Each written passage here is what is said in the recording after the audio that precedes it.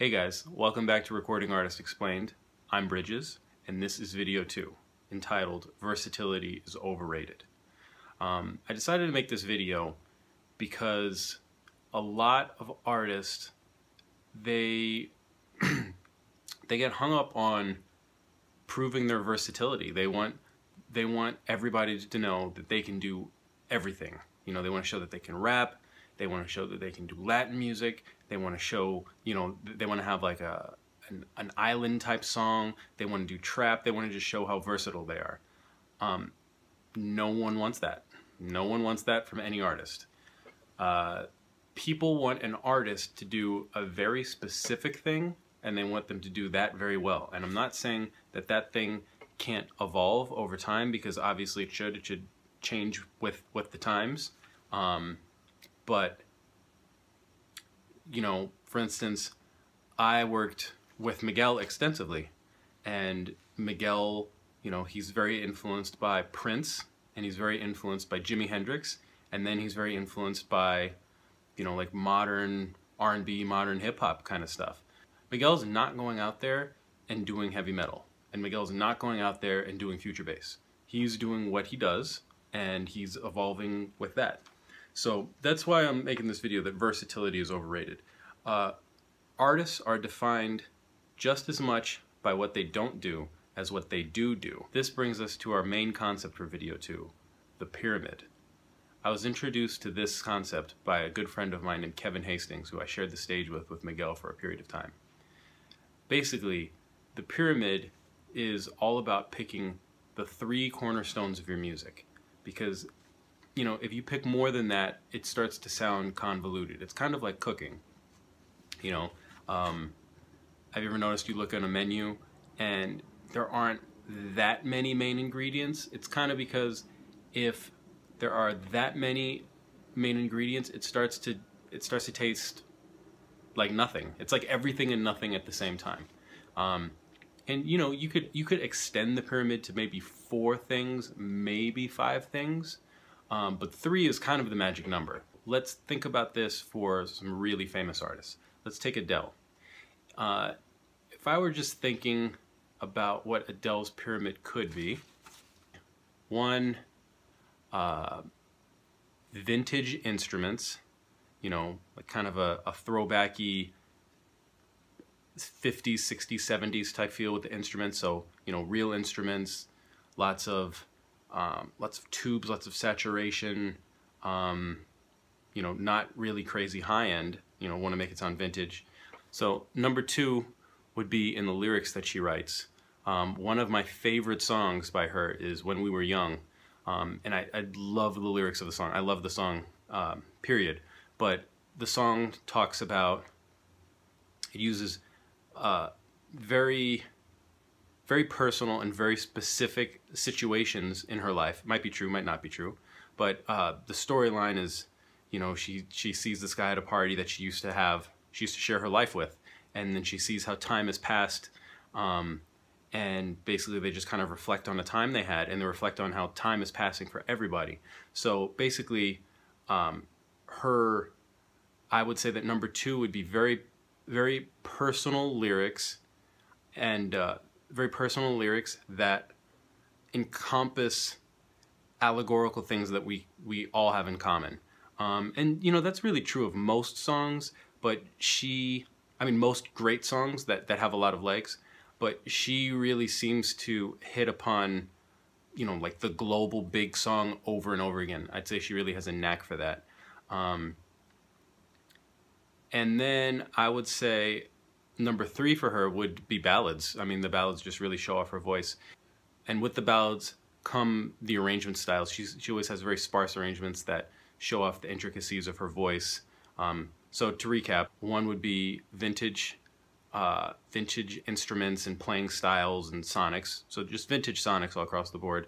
Number two would be the personal, uh, seemingly specific and personal lyrics that appeal to everyone globally. Number three would be the ballads that show off her voice. Obviously, it's easier to show off vocals during a ballad than it is like some crazy future bass drop or something. So arrangements that show off her voice.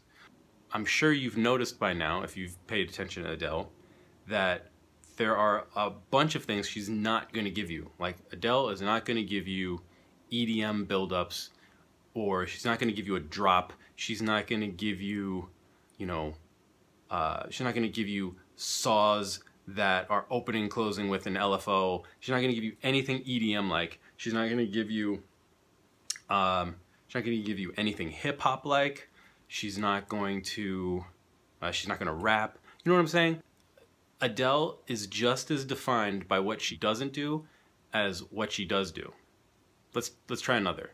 So Post Malone, if I were to think about what his pyramid could be, I would say it would be nursery rhymes. Um, I'm sure you've noticed that Post melodies are extremely symmetrical. They're extremely repetitive, and they're very. Uh, I mean, nursery rhyme is just like you know, very like Twinkle Twinkle Little Star like, or uh, Yankee Doodle went to town, like very nursery rhyme like. Check it out if you haven't noticed that. Number two would be trap drums. Like all across the board, he's got trap drums, uh, very in right now, and he has his uh, his producer Louis Bell, who I love his production. Uh, he has a very signature kind of way that he does it. He uses different sounds than everybody. Um, yeah, so trap drums, and then number three, I'd say uh, he uses a lot of like 80s sounding synths and kind of retro guitar sounds. Like Post is actually a really good guitarist. Um, so yeah, his his hip hop has kind of a more organic feel than a lot of the other hip hop that's out there. Post pyramid would be the nursery rhyme slash singing slash rapping vocal delivery that he's kind of that he's got going on. No one else is doing it like him. Then the trap drums, uh, and then the 80s synths and uh, the guitar elements. In the next video, you'll meet a dear friend of mine named Meg DeLacy, who's an artist who I've been developing for the past two years, and we'll ask her some questions about what her pyramid might be. Let's see if I get it right.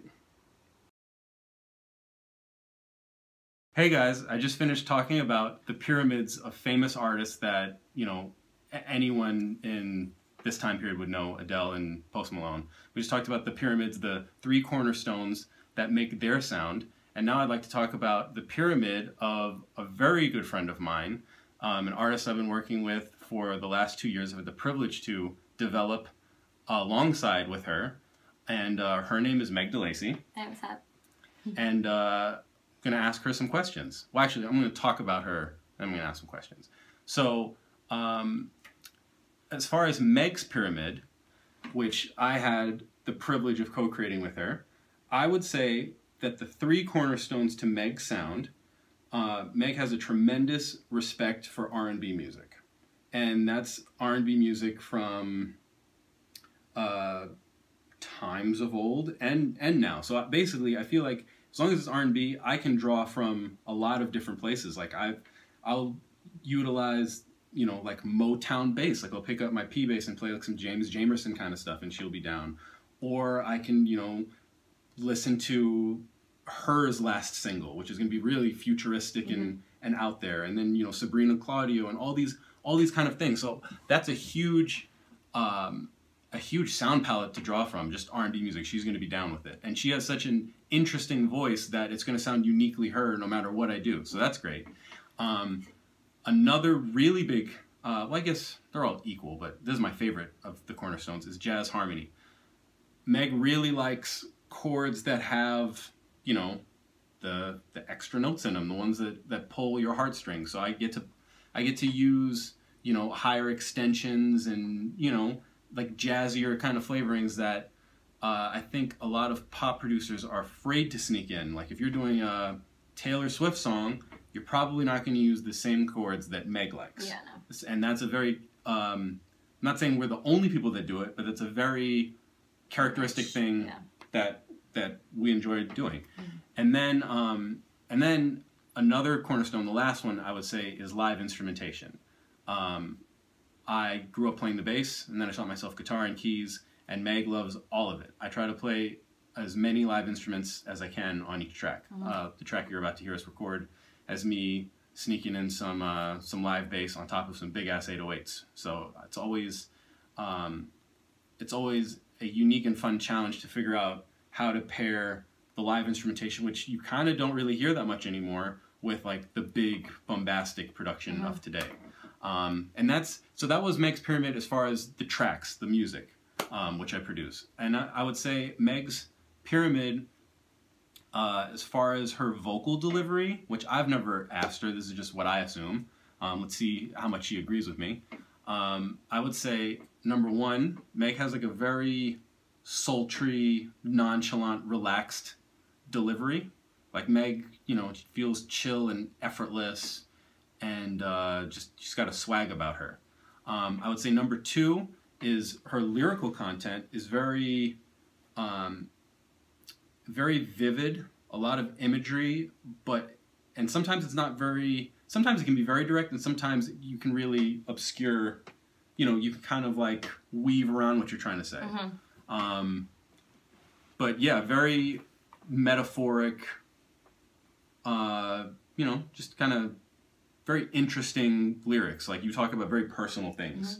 Mm-hmm. Um, and then I would say, as far as the vocal production, I use a lot of a lot of big reverbs, a lot of like cold 80s plates. Just um, I don't know. I guess really early on, I figured that that really works with her voice, and also Meg Meg's voice loves compression. Um, some people don't really handle that well, but Meg's voice just it just loves it. So, love it so um, yeah, that would be her three cornerstones: uh, the sultry, nonchalant delivery, the very poetic, personal, introspective lyrics, and then the kind of dreamy, ethereal vocal production. You know me so well. Yeah, I was gonna say yeah. how did I do, but I know I did well. Yeah. No, no, yeah, you know so well. I mean, I, just to add to that because you kind of covered most of it. I am, I am first a lyric girl. That's what I honestly look for in any song. If I can pick it out and create a story with it in my own, and that's what I kind of incorporate when I'm writing too, making sure that it's authentic to myself and and uh, and telling some sort of story that I've been through. Mm-hmm. Um, but then also creating that those those pockets of of uh, space for other people to kind of interpret what I'm saying on their own. You know, a song could be written about something completely different, and I hear it as personal as it can be, and it might not even be about that, but it still speaks to me that way. So, making sure that there's areas there, what I'm either what I'm saying or what I'm, you know, what I'm scatting on or whatever, just just in, just having that freedom for the listener to mm-hmm. to to start kind of going through their own imagery on on their own. Um, bass. You are an amazing bass player, and I love how the bass kind of drives our songs. It keeps me moving, and it keeps probably the listener moving, and and uh, it creates a vibe, like an immediate vibe. Whenever we write, I always want you to just like throw down some bass lick or whatever, and that usually kind of sets the mood of the day. Um, if we don't necessarily know what we want to talk about right when I walk in, mm-hmm. so that that I love that, and that and that that's in all of the songs that we do. I always am like, turn on the bass, turn on the bass, please. We should probably just start with that. Why I mean, we... Yeah, we usually do. We usually do, or it's like a guitar little lick thing. But you're yeah. you're more of a bass player than a guitarist, even though you're you're you're dope at Don't guitar as well. Like camera. but no, no, no. You you know you know okay. your ba- your bass is your bass is off the chain. Um, and then like you said, live instruments, keeping that raw organic vibe to incorporate not just R and B listeners, but then also other people that don't necessarily listen to that every day. Mm. But once they hear that, you know, that horn or that electric guitar or mm-hmm. you know, just any type any type of real anything, it kind of your ear picks it up and it and it's a ground, it's nice grounding to mm-hmm. the song. And I I, you know, my my music taste is all over the place. I do love making R&B, but I listen to a ton of stuff. Right. And uh and I'm that listener as well. Like I can listen to something and be like, "Oh, but like that bridge is sick because you know those keys come in and it's super just like stripped down and, and real and I, I don't know it just it, it, it speaks and I feel like a lot of people feel yeah and, you, and you're also the type of listener where you'll hear a reggae song and you're, you're like Jayme yeah, how do exactly. we how do we put that into exactly, our thing? exactly. Doesn't even have to be the same genre. Yeah so. completely. Yeah some of all of it's so. Good yeah that is a good one. Yeah you guys will hear that you'll hear it. Um, but yeah that's a very interesting uh, topic which uh, I probably mentioned before, and if I didn't, I'm going to mention it now because it's very important. Um, would you agree, Meg, that an artist, what an artist chooses not to do, is just as important as what an artist chooses to do mm-hmm. stylistically? Mm-hmm. I would agree. Um, Yeah, because you know Meg's music, we don't really have EDM builds and drops and heavy metal guitar and like I personally really like all of those things. But if I put every single thing that I liked or we liked into Meg sound, it would just be it'd Too be much. yeah, it'd be too much. It'd be like if you're if you're making a stew or a pasta dish and you put every single thing that you like in, it's gonna taste like nothing. There isn't enough of any one thing to pick it out Mhm. and enjoy it. So that's kind of the um, the impetus behind the, the pyramid idea. If you have three, you pick three things that you really like, and you give as much as you possibly can of those three things, Mhm. and uh, and that'll never get boring or overwhelming for the listener. Yeah. No, you want to stay as specific as possible, and also sometimes simple. That's when Yeah. the beauty comes out as much as like we, and you can find it too. Yeah, and and take some stuff out, add some stuff, take some stuff out. yeah, and, and honestly, Meg, like your fans, they they know you as R and B, soulstress, all that kind of stuff. Like they're not really looking for you No. to sing salsa. No, and luckily we were able to find that sound and, and release it and get some good feedback of it because, you know, sometimes artists need to release a ton of different types of things to see what people want to hear you on, and Yeah. we found a home. Yeah, a lot of a lot of artists make the mistake, I think, of, you know, oh, the tropical Kygo thing is popular right now. Mhm. Let's do one of those, or let's do uh, let's do a trap one, or let you know they, they keep chasing these genres. What you really want to do, at least this is what what I do, and I'm blessed to connect with artists that feel the same way that I do, is you want to find your sound and and uh, be be really different. Like kind of timestamp it for the future. Mhm. Like do something that three years from now people are gonna be like, oh shit! Like how did I miss out on this? This Yeah. person's been doing this for this long, and just kind of sit in one place with a sound, and then people will notice. Like don't don't chase trends. And as you sit there, you know, you, you create your own, Yeah, and it'll evolve. you know, obviously. unique, yeah, u- unique little aspects of it too. So You know what's interesting? I think it's important. Uh, a lot of people are right are scared of writing, not bad songs, but they're afraid to write songs that don't work for them. Mhm. And I actually think that that's a very important uh, part of the process because to to be able to feel why a song doesn't work for you, you got to know Is- what it's yeah, yeah, like that's that's way different than like someone telling you like, oh, this doesn't work for you. But when when you feel in your own soul like, oh wow, this doesn't work for me, then you you know you uh, you very viscerally know like your path. uh huh. So the the bad songs, I don't say bad. I mean, maybe some of them are bad, but uh, Just you know, the songs the that unused don't- ones, Yeah, yeah, the unused ones are just as useful to me. Yeah, Yeah, they serve you just as much. So sweet. respect.